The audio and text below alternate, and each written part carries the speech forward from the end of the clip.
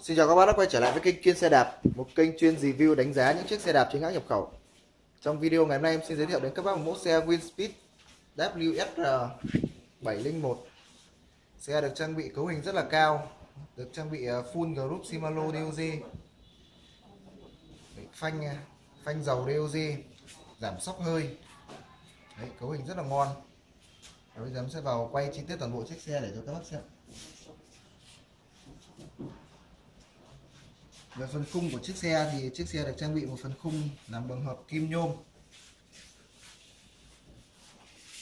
Nước sơn của chiếc xe thì là nước sơn nguyên bản. Xe còn rất là đẹp. Chỉ một vài vết xước nhỏ, do quá trình sử dụng. Cộng với cả là xe bãi không thể tránh khỏi.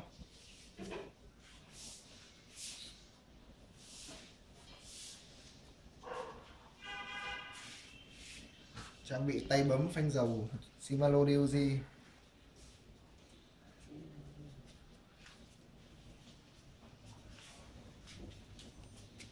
giảm sóc hơi.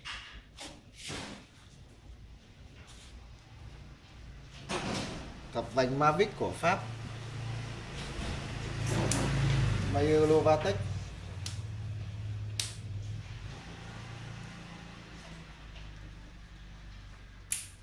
đùi đĩa trục rỗng DOG và bộ chuyển động, full group Shimano DOG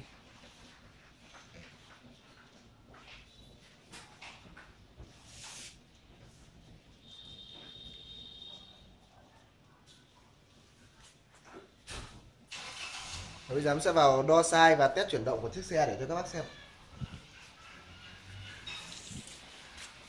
Size của chiếc xe từ tâm trục đạp đến khóa cọc yên là 41 cm từ khóa cọc yên đến tâm cổ phốt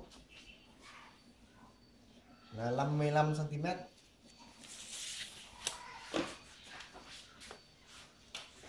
Thì chiếc xe này sẽ phù hợp cho các bác từ khoảng 1 m 5657 đến 1 m 7 đi là phù hợp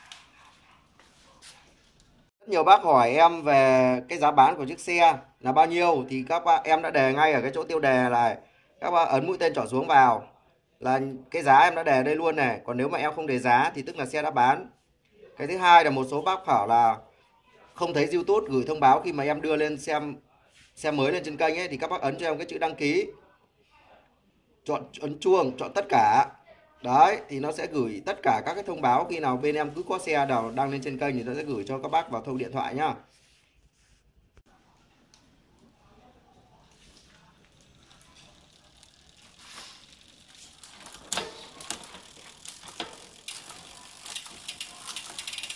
Chuyển động của chiếc xe thì rất là nhẹ nhàng. Êm ái bấm rất mượt.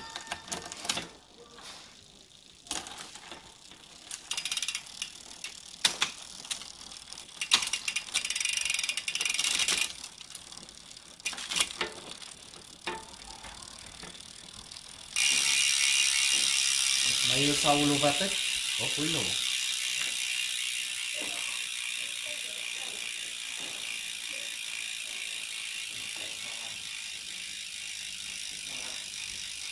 một chiếc xe cấu hình rất là cao.